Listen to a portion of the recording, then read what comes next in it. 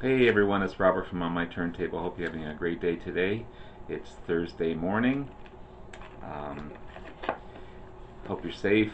Uh, hope you're keeping your distance, being aware of what's happening out there. Uh, I'm a little apprehensive about going to work this afternoon, but uh, every day's a, every day's a new day, and, and um, just have to get through it. So. I wanted to continue my look at this amazing box set from ZZ Top, their first 10 studio albums. Before I get into it, please hit the like and subscribe button below. Thank you to all that have liked and subscribed so far. I greatly appreciate it. I want to continue to put great content out there to be informative and to show you guys some great bands and artists that I have in my collection. Uh, so from again from this box set, I talked about their first studio album, ZZ Top's first album. Amazing blues based album, just fantastic, highlighting the band at the at uh, in the early beginnings, but uh, still at that stage an amazing band, and how great uh, a player uh, Billy Gibbons is. Just uh, I think I ranked that one 10 out of 10. Um, Rio Grande Mud, another blues rock and based album, just superb. Gave that one a 9 out of 10, and some days it could be a 10 out of 10.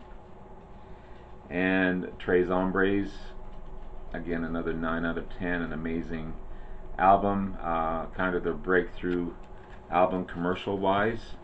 Uh, put them on the map, so to speak. Um, big hit La Grange off of this one. Uh, Waiting for the bus. Jesus just left Chicago. Uh, full of full of amazing songs. Uh, today, I want to talk about Fandango.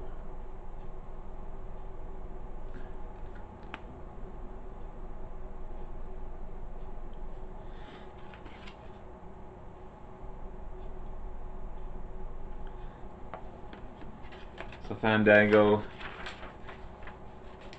four studio album released in 1975. Um, half the tracks are live shows, and the rest are from studio. Uh, it's a great winning combination. It really is. Uh, um, also contains the uh, band's first top 10, sorry, first top 40 single in Tush uh, which peaked at number 20 on the Billboard's Top 100. Uh, the live versions are amazing. Um, it was a hot show.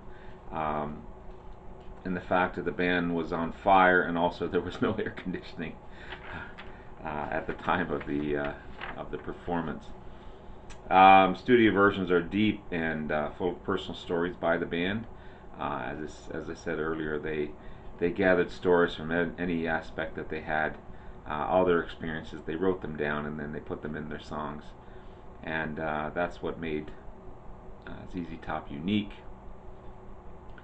Uh, a winning combination, basically, of uh, uh, showing the amazing performances live as well as in the studio. So it starts off with Thunderbird.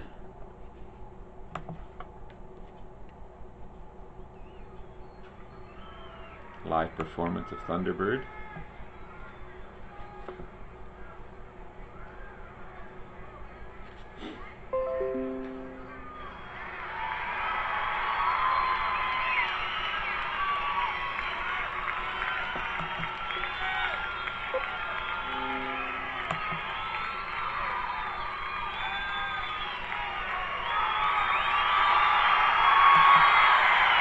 I'll just push this one just a little forward.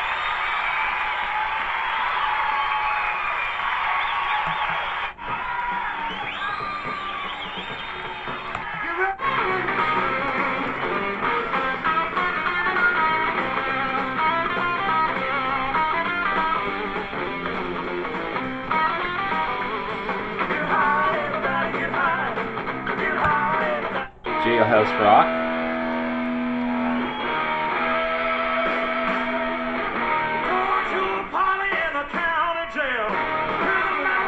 Dusty Hill singing. Underrated voice, Dusty Hill. Then we have Backdoor Medley, Backdoor Love Affair.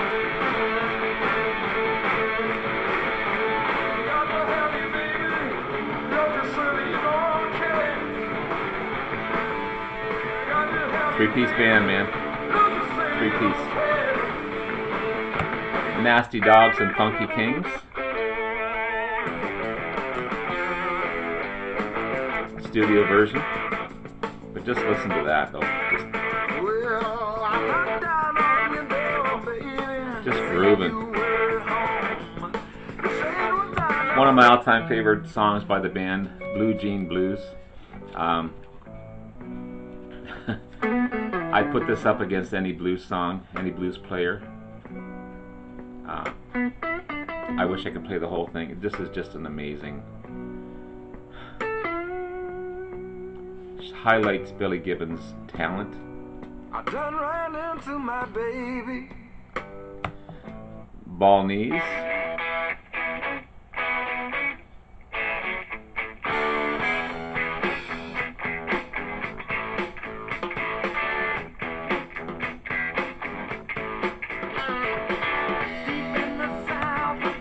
Mexican blackbirds.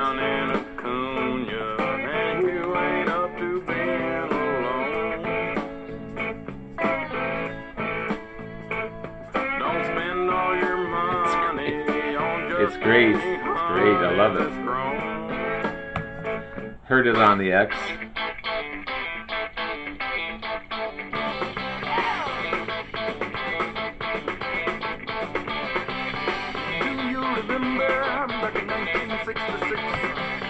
Uh, next song is Tush. I'm probably not going to play this one because I don't want to get it uh, copywritten, but uh, everyone's heard Tush. Uh, an amazing song. Uh, again, put them on the map. Um, but yeah, what a performance. Um, I'd have to give this one uh, 10 out of 10. Um, I gave this one a 10 I gave this one, I'm going to say 9.5. Okay, because at anywhere, at any point in time, it goes between 9 and 10. I'll give this one, again, a 9.5. Uh, I'm going to give this one a 10 because of um, Blue Jean Blues, because of Tush, um, heard it on the X, um, Nasty Dogs and Funky Kings, their live performances.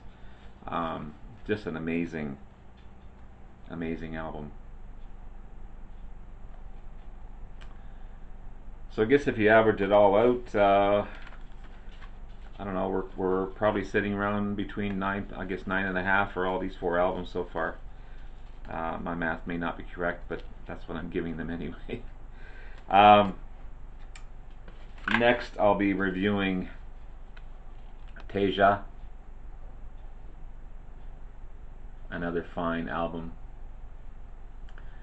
I have this one in album format as well, um, as well as Tres Hombres. Um, I don't have these two, and I don't have Fandango either. I do now, obviously, but um, yeah. So there you have it. There's a look at ZZ Top's Fandango. Again, please hit the like and subscribe button below. Thank you to all that have liked and subscribed so far. I greatly appreciate it. I want to continue to put great content out there and uh, show you guys some of these great bands and artists. I mean, ZZ Top is just amazing.